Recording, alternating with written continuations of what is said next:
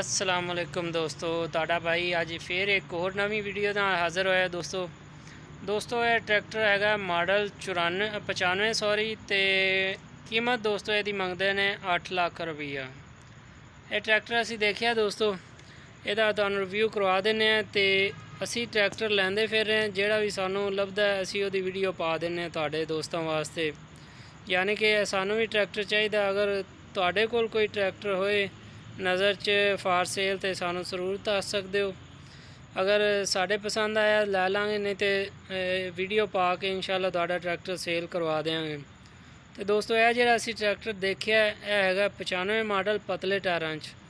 ਤੇ ਮਾਲਕ ਇਹਦਾ 8 ਲੱਖ ਰੁਪਈਆ ਮੰਗਦੇ ਨੇ ਦੋਸਤੋ, ਤੇ ਅਸੀਂ ਜਿਹੜਾ ਇਹਨੂੰ ਲਾ ਕੇ ਆਏ ਹਾਂ 6 ਲੱਖ ਤੇ 75000 ਰੁਪਏ ਅਸੀਂ ਲਾਇਆ ਇਸ ਟਰੈਕਟਰ ਨੂੰ। ਤੇ ਮਜ਼ੀਦ ਤੁਸੀਂ ਵੀਡੀਓ ਇਹਦਾ ਨੰਬਰ ਤੁਹਾਨੂੰ ਦੇ ਦਿਆਂਗੇ ਦੋਸਤੋ ਦਾ ਡਿਸਕ੍ਰਿਪਸ਼ਨ 'ਚ। ਜੀ ਤੇ ਦੋਸਤੋ, ਹੁਣ ਚੱਲਨੇ ਹਾਂ ਅਸੀਂ ਪਹਿਲੇ ਛੱਤ ਤੇ ਇਹਦੇ ਪਿਛਲੀ ਸਾਈਡ ਟਾਇਰਾਂ ਵਗੈਰਾ ਤੇ। ਹੁੱਕ ਦੋਸਤੋ, ਕੋਈ ਨਹੀਂ ਟਾਪ ਲੈਂਕ ਲੱਗੀ ਹੋਈ ਇਹਨੂੰ।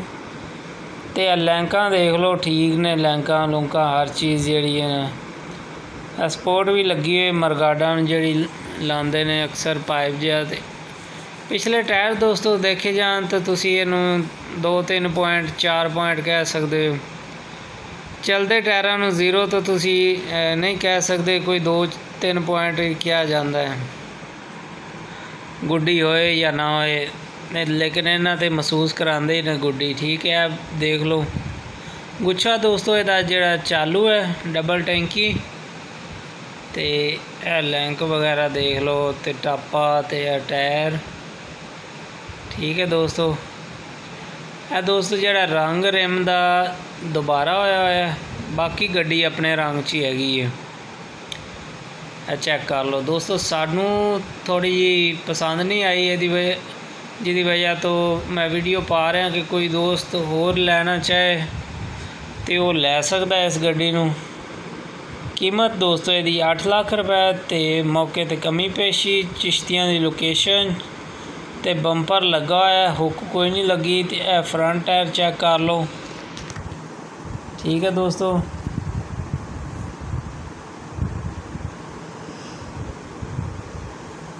ਇਹ ਸ਼ੋ ਵਗੈਰਾ ਦੇਖ ਲਓ। ਇਹ ਫਰੰਟ ਤੋਂ ਥੋੜੀ ਜਿਹੀ ਲੁੱਕ ਚੈੱਕ ਕਰ ਲਓ ਇਹਦੀ। ਠੀਕ ਹੈ ਦੋਸਤੋ।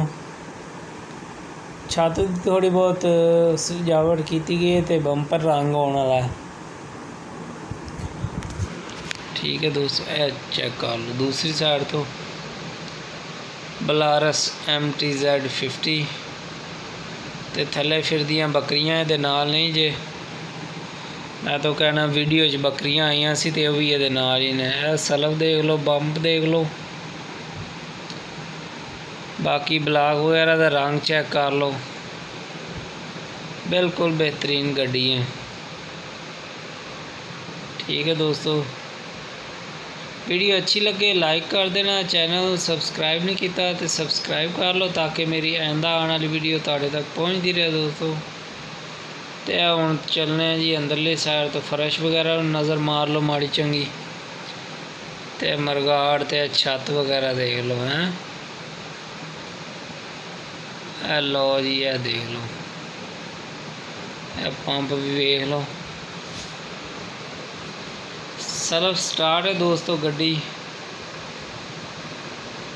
ਤੇ ਇੰਜਨ ਪੰਪ ਜਿਹੜਾ ਮਾਲਕ ਕਹਿੰਦੇ ਨੇ ਜੀ, ਇਹਦਾ ਤਕਰੀਬਨ 14 ਆਨੇ ਹੈ।